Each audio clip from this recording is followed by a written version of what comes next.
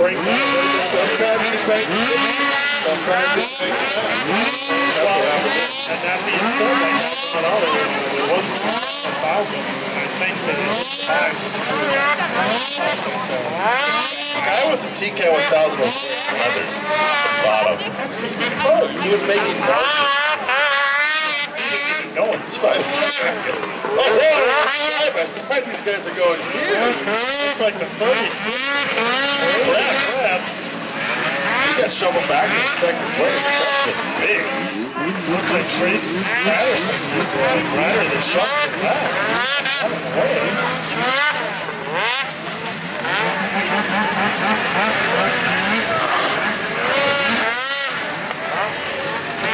So what we got going on is it looks like your leader is Trace Patterson.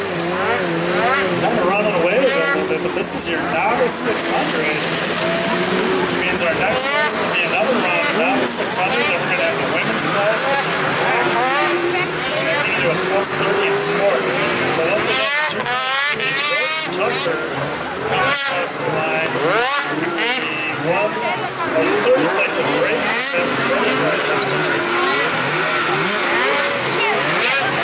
watching Steps because he's all about the throttle. Loves giving a little bit of juice. I don't know throttle today. Well, I think he's got a pipe or can on it. Everybody. You gotta have a can. If you run a ditch banging class, like it should be part of the whole program. Oh, a can. I think next year I'm gonna ask for a rule change. And backpack with paddy shovel And a beat. and a beacon hanging that bad boy. Because exactly. I'd like to see uh, triple pipes actually.